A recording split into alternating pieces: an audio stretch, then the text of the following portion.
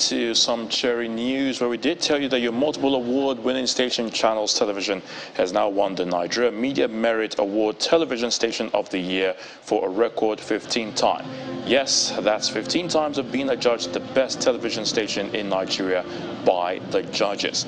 The announcement was made this evening at the 30th edition of the Nigeria Media Merit Award in Lagos.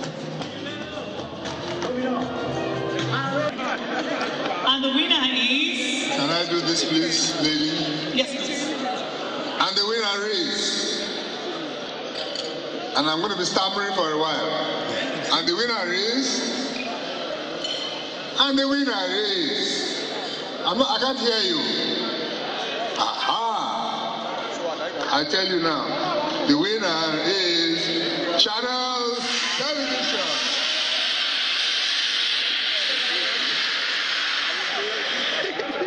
And this is an NBC prize. Congratulations.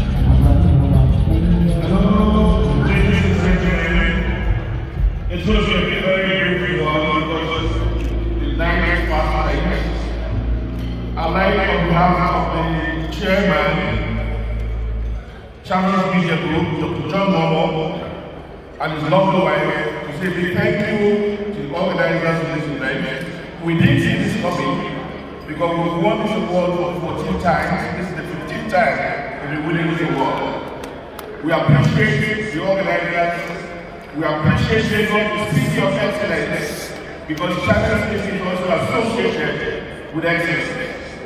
We'd like to say that we are giving this award to the staff, dedicated to the staff of Channel TV, people who have worked so hard for this over the years. This award for them. I thank you all and I thank you again. Let me use this opportunity to lend my voice to the appeal of well-meaning compatriots to the media on the need to exercise a high level of professionalism and commitment to the ethics of this great profession, especially as the 2023 general elections draw near, which you are all participants in one form or the other.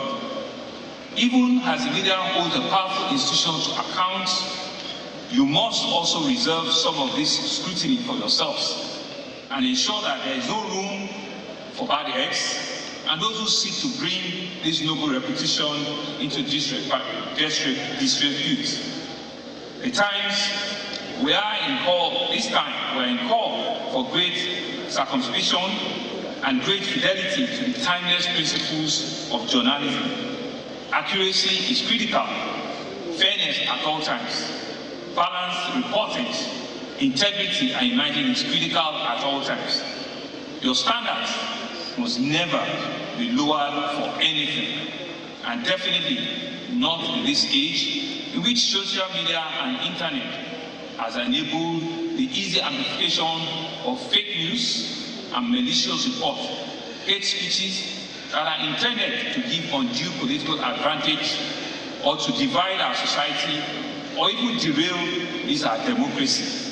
And I think it's appropriate that we charge all of you and we charge all of us that this is a clear call and it's something that everybody, a politician, a non-politician, a journalist, must take very, very seriously.